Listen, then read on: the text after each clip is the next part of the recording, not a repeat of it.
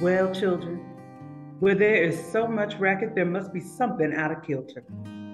I think that twixt the Negroes of the South and the women of the North all talking about rights, the white men will be in a fix pretty soon. But what's all this here talking about? That man over there says that women need to be helped into carriages and lifted over ditches and to have the best place everywhere. Nobody ever helps me in the carriages or over mud puddles or give me any best place. And ain't I a woman? Look at me. Look at my arm. I have plowed and planted and gathered into barns, and no man could head me. And ain't I a woman? I could work as much and eat as much when I could get it as any man, and bear the lash as well.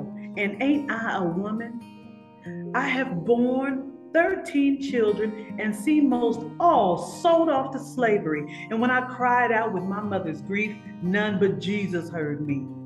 And ain't I a woman? Then they talk about this thing in the head. What is this they call it? Uh, intellect. That's it. Yeah. But what's that got to do with women's rights or Negroes' rights? If my cup won't hold but a pint and yours holds a quart, wouldn't you be mean not to let me have my little half measure full?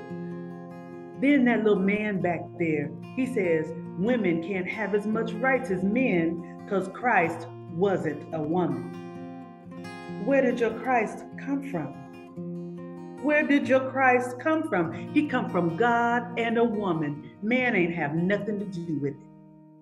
If the first woman God ever made was strong enough to turn the world upside down all alone, these women together ought to be able to turn it back and get it right side up again.